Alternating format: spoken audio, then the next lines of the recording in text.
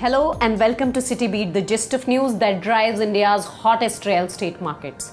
Today, we talk about developments in Kolkata and how they will impact the property markets of the city. India's first bus to run on human and animal waste will make its debut in Kolkata by March end. According to media reports, about 12 buses running on biogas will start operations on 12 routes in the city of Joy. These 60-seater non-AC buses will cover a 17.5 km route between Ultadanga and Garia.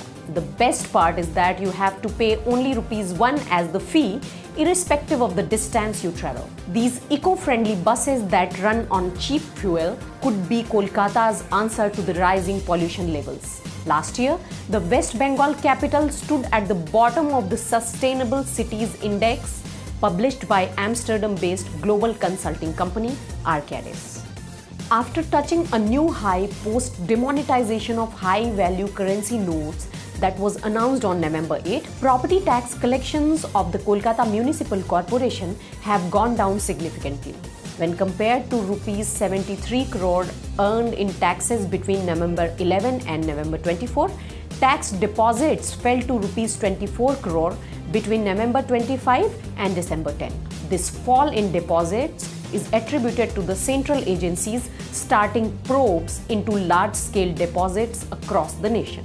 Meanwhile, about 6.5 lakh people under the Kolkata Municipal Corporation will be able to switch to the unit area assessment method to pay their property taxes as the State Assembly has passed the Kolkata Municipal Corporation Amendment Act 2016.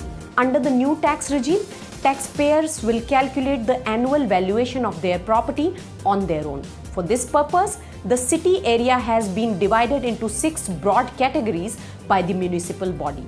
This division is made based on the utilities and services available in a locality.